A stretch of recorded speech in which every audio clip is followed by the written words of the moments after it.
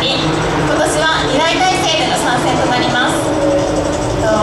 ST4 クラスでは2019年度と2021年度の2度シリーズチャンピオンを獲得しています。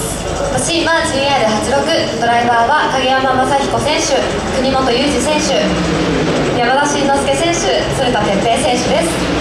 884号車は ST4 クラスクラス現在2位を山田慎之介選手が走行中です。